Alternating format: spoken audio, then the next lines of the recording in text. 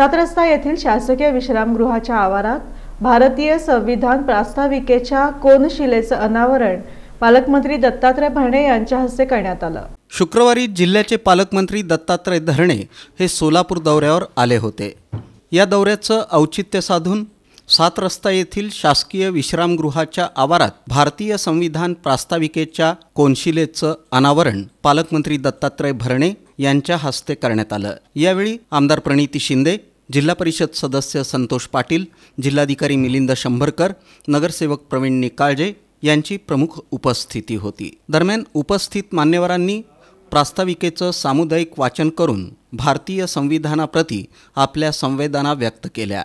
यावेळी राष्ट्रवादी काँग्रेसचे पदाधिकारी आणि कार्यकर्त्यांची उपस्थिती होती.